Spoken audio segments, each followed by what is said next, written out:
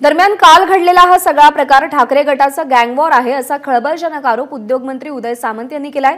मॉरिसचं उदात्तीकरण सामनातून वेळोवेळी करण्यात आलं असा आरोप त्यांनी केला. त्यासाठी त्यांनी सामनाची विविध कात्रणं सादर केली. मॉरिसनं उद्धव ठाकरेंना शुभेच्छा देणारे बॅनर्सही झळकावले होते असं ते म्हणाले. कोणत्याही घटनेनंतर केवळ मुख्यमंत्र्यांना बदनाम करणं थांबवा असं उदय सामंत पत्रकार परिषदेत म्हणाले. मी जबाबदारीनं सांगतो कालचं हे गँगवॉर जे आहे हे उबाठा गटातलंच आहे. कारण एकामेकाच्या कॉम्पिटिशनमध्ये म्हणजे मी नगरसेवक होणार आहे की तू नगरसेवक होणार आहे ह्याच्यातनं हे झालेलं आहे. पुन्हा एकदा सांगतो हे दुर्दैवी आहे असं होऊ नये.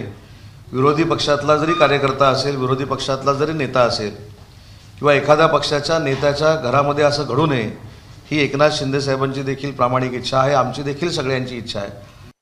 तर सामना पेपरमधनं तर त्याला असंच म्हटलेलं आहे की कप परडते शिर्डी एकशे पंधरा दिवसांचा मदत यज्ञ. आणि त्या अनेक बॅनरवर असं लिहिलेलं आहे की उभाटाचे पक्षप्रमुख जे आहेत आणि उभाटाचे युवा नेते जे आहेत यांच्या मार्गदर्शनाखाली मी काम करतोय.